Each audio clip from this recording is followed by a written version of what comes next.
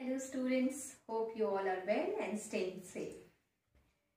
Apart from your daily activities, let us study some new topic, it's force.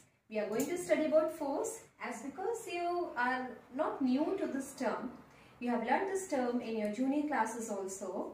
Uh, but now in this class, you need to study more about force. So what is force? We are going to study first.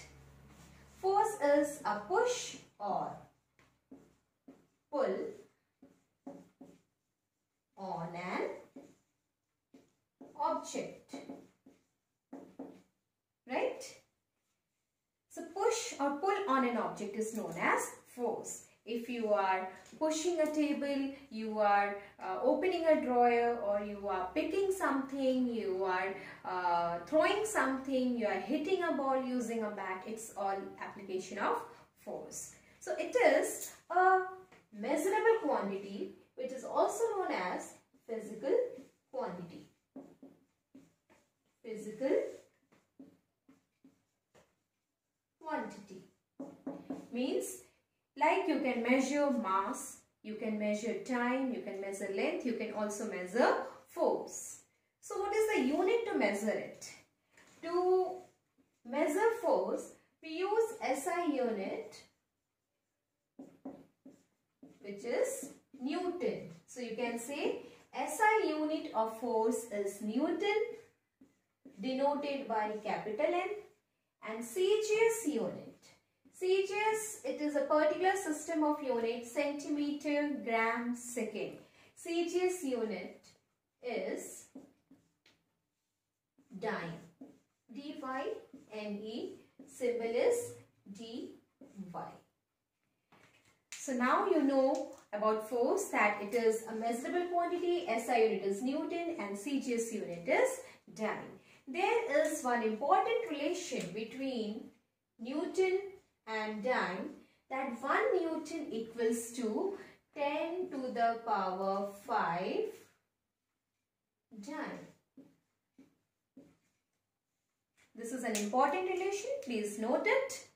Now we are going to study about what are the effects of force as because it is an external agent it can do so many things.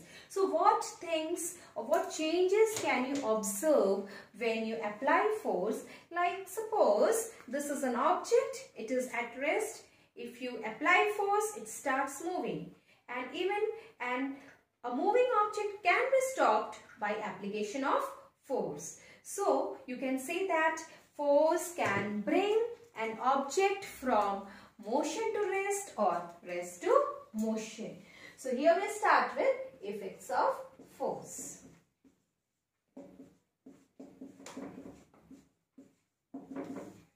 You can write number one, an object in motion can come to rest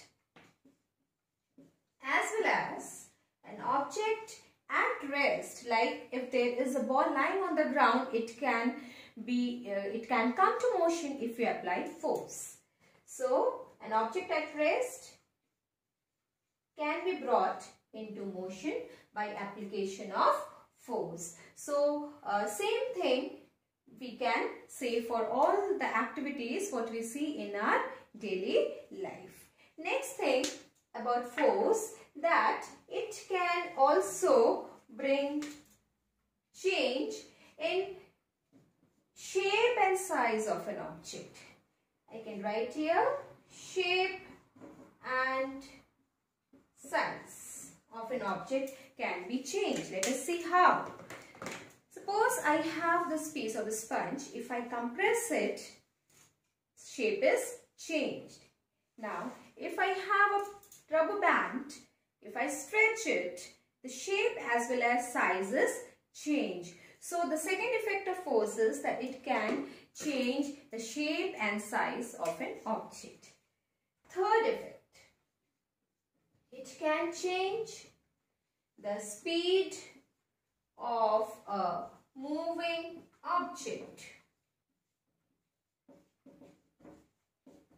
If an object is moving, you can change the speed. Like if you are cycling you can reduce the speed or you can increase the speed. So speed of an object can be changed by the application of force as per the requirement. Next one is direction. Direction of a moving object can also be changed. You can move towards right or left front or back or east west north south anywhere as per the requirement so these all are the effects of force. So there are so many activities like picking, throwing, cycling, pushing, pulling, uh, opening, closing like you're opening the door, closing the door. It all comes under force and you can see various kinds of effects of force in your daily life activities. Now I start with what are the types of force. There are many types of forces so our next topic is types of force. I'm going to discuss several types of forces and by the end you need to categorize them in two different categories. So I start with types of forces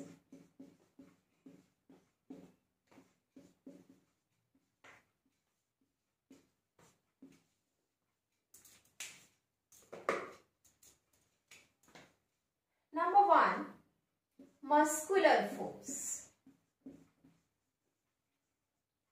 Muscular force. As the name suggests, the force exerted or applied by the muscles is known as muscular force. Like a bull is pulling a cart. It is an example of muscular force.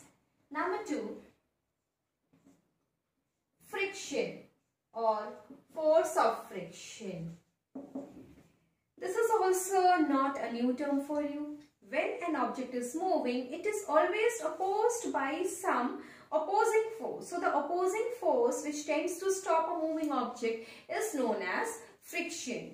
So whenever an uh, object is moving on the ground, suppose a ball is rolling on the ground and automatically it stops after some time on its own, it means there is some force which is trying to stop its motion and that is nothing but known as friction or frictional force. Number three is mechanical force. Mechanical force means the force applied by the machines is known as mechanical force. Like the machine of an engine pulls the engine and so all the bogies or all the uh, different compartments of the train are being pulled. So this way you can say mechanical force is the force which is applied by the machines. So can you notice there is some similarity among these three forces. Something is required between two objects. What's that? Yes, that is the physical contact. So when there is physical contact between two objects, it is known as or such kind of forces are known as contact forces. So these three comes under the category of contact forces.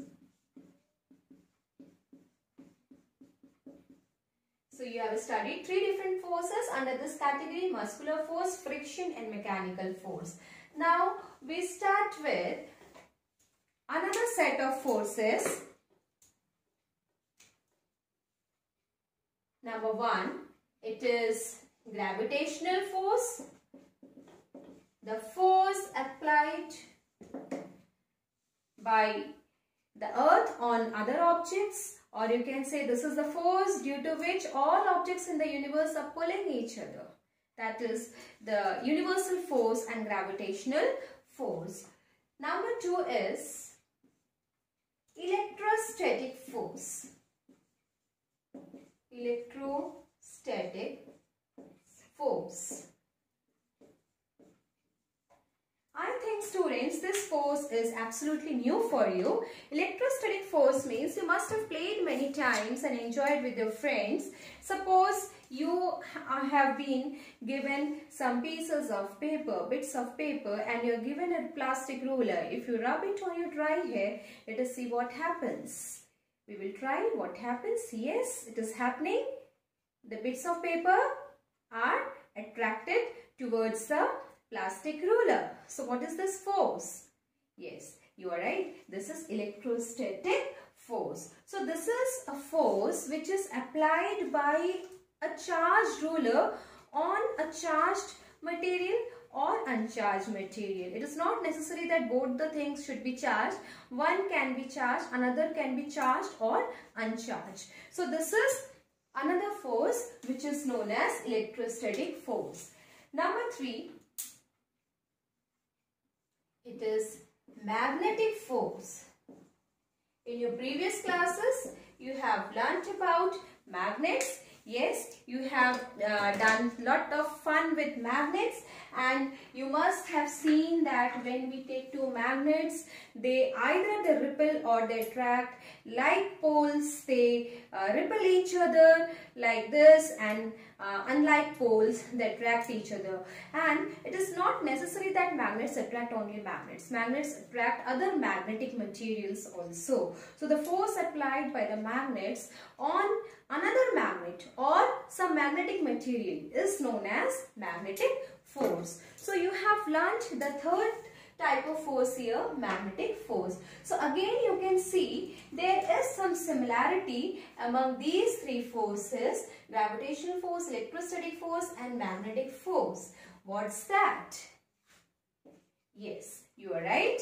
There is no physical contact required for these forces. So they come under the category known as non-contact forces. Okay. So you have learned about types of forces, contact forces and non-contact forces. Please revise all these topics. We will meet again in next video. Revise and just have a good time. Stay well.